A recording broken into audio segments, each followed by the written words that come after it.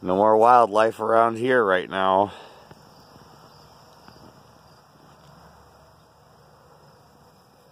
You never know what this thing's gonna do.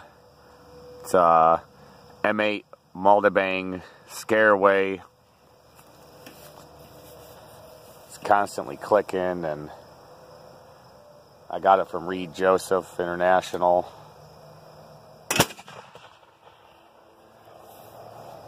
It's loud. A little louder than a shotgun, I'd say.